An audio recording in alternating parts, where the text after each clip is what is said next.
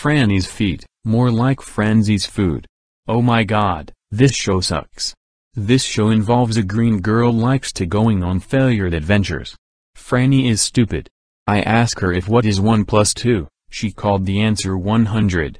And the other characters are gay. The characters are dumb, the songs are cringeworthy, and the whole show is bad. Thank God it got cancelled in 2010. Do you know who likes this show? Linroy Afonso He told me to put them on the like spot. But I respect his opinion on it. Do you know who hates this show?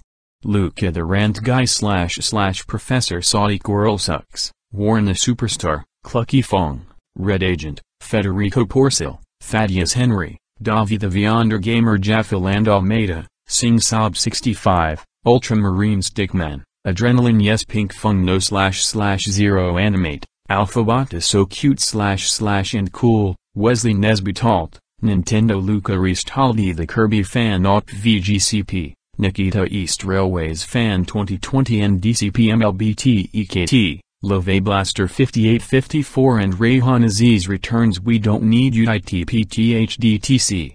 The 16 users told me to put them on the hated spot. Franny's feet sucks. And so does Total Dramarama. Ben 10 is over 999,999,999 times better than Franny's feet. End of rant. Next rant.